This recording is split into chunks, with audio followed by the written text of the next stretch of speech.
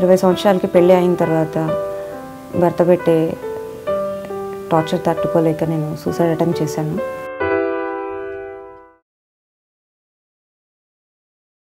ఇక బ్రతకను అని చెప్పేసి డాక్టర్స్ చెప్పేశారు. Fifty fifty chances. బ్రతకొచ్చు బ్రతకకపోవచ్చు అని చెప్పి. బై గాడ్స్ గ్రేస్ ఈరోజు ఇలా ఉన్నా నేను. తల్లిదండ్రుల మీద కుటుంబం మీద పూర్తిగా ఆధారపడి ఉన్నాను. సో దాని తర్వాత రెండు వేల పది నుంచి నేను ప్లాస్టిక్ సర్జరీస్ గురించి తెలుసుకుని సో అక్కడ నుంచి నేను ట్రీట్మెంట్ అనేది స్టార్ట్ చేశాను. స్టార్ట్ చేసిన తర్వాత పూర్తిగా ఇప్పటి వరకు ఎనిమిది ప్లాస్టిక్ సర్జరీస్ అయినాయి. బేసికల్గా మాది middle class family. So general stores ఉంది డాడీ మమ్మీ అదే చూసుకుంటారు. ఉన్నది తమ్ముడు ట్వెల్వ్ ఇయర్స్ ఇప్పుడు ట్వెల్వ్ ఇయర్స్. నాకు ఇది జరిగినప్పుడు వాడికి అరౌండ్ ఫైవ్ ఇయర్స్ వాడికి ఫైవ్ సిక్స్ ఇయర్స్. వాడి చిన్ని చిన్ని చేతులతో నాకు అన్నం తినిపించేవాడు బట్టలు వేసేవాడు. ఇంకా ఆడపిల్లగా ఇంకా అంతకన్నా చెప్పగలిగేది ఏముంటుంది? ఐదారు సంవత్సరాల బాబు ఇరవై ఏళ్ళ అమ్మాయికి బట్టలు వేసే సిచ్యువేషన్లో ఉన్నాను. సో నా ఫ్యామిలీ నుంచి మాత్రం నాకు చాలా మంచి సపోర్ట్ ఉంది. పెళ్ళి మూమెంట్లో మాత్రం అది కావాలని చేసింది కాదు. ఆడపిల్ల సంతోషంగా ఉందనుకుంటారు కానీ ఇంటికి వెళ్ళిన తర్వాత ఎట్లా ఉంటుంది ఏంటనేది తల్లిదండ్రుల తప్పు కాదు అని చెప్పి నేను అనుకుంటున్నాను. ఈరోజు కూడా నాన్న చెప్పేది ఏంటంటే నీ లైఫ్లో నీకు ఇష్టమైంది నువ్వు చెయ్యి. ఇప్పుడు నే మేము మీకు చెప్పే స్టేజ్లో లేను. కానీ నువ్వు ఏదైనా చేయాలనుకుంటే ఒక్కసారి ఆలోచించిన తర్వాత నువ్వు ఏ ఏ స్టెప్ అన్నా తీసుకో అని చెప్పి డాడీ అంటూ ఉంటారు. సో ఫ్యామిలీ నుంచి సపోర్ట్ ఉంది కాబట్టి నేను ఇలా డిఫరెంట్ డిఫరెంట్ ప్లేసెస్ తిరుగుతున్నాను. సో డిఫరెంట్ డిఫరెంట్ పీపుల్ని కలుస్తున్నాను. ఇంత యాక్టివిటీస్ అనేది చేయగలుగుతున్నాను.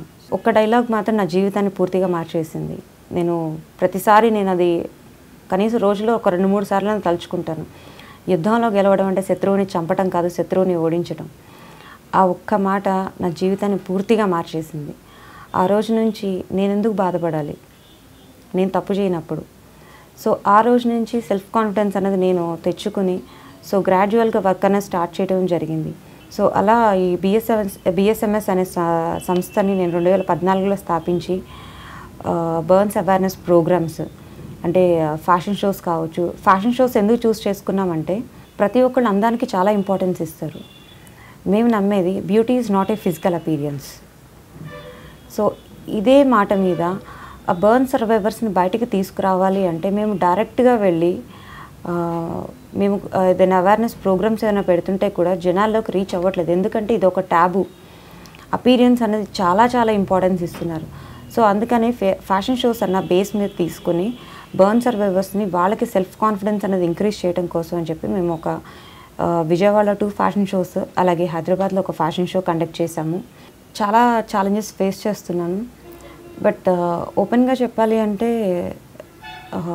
నేను ఉండేది వర్కింగ్ ఉమెన్స్ హాస్టల్లో నేను ఉంటాను సో అట్లాగే క్లినిక్లో జాబ్ చేస్తాను.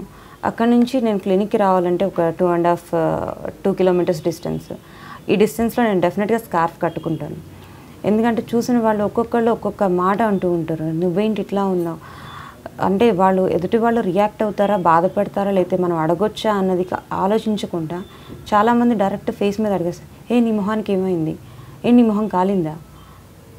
సో ఇట్లాంటి మాటల నుంచి తప్పించుకోవటానికి కొంతవరకు ప్రొటెక్షన్ లాగా. ఎందుకంటే నా కాన్ఫిడెన్స్ అనేది నేను లూజ్ అవ్వకూడదు. సో దాని మూలం నేను పక్కన వాళ్ళు అంటుంటే నేను పట్టించుకోకూడదు. సో వాళ్ళకి ఆ ఛాన్స్ ఇవ్వకుండా నేను స్కార్ఫ్ కట్టుకుని నేను రోడ్డు మీదకి వస్తున్నాను. ఎందుకంటే పక్కన వాళ్ళకి ఛాన్స్ ఇవ్వకుండా.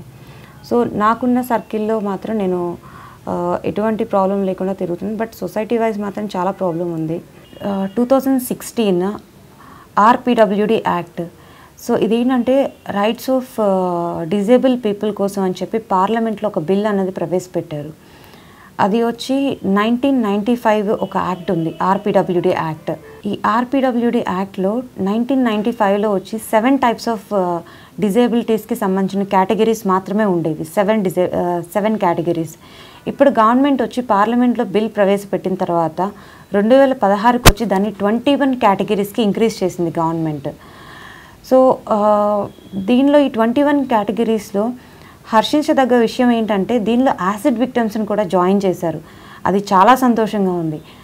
కానీ మెజారిటీ ఆఫ్ ది పర్సన్స్ చూసుకుంటే మన భారతదేశంలో ప్రతి సంవత్సరం ఎనిమిది లక్షల మంది తక్కువలో తక్కువ ఎనిమిది లక్షల మంది రకరకాల ప్రాబ్లమ్స్ వల్ల ఈ ఫైర్ యాక్సిడెంట్స్ అనేవి ఫేస్ చేస్తున్నారు.